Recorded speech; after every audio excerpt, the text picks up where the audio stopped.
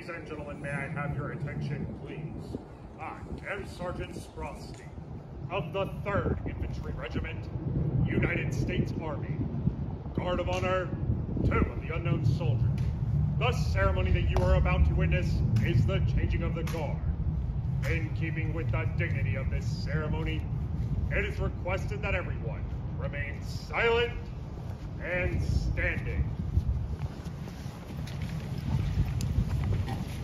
Thank you.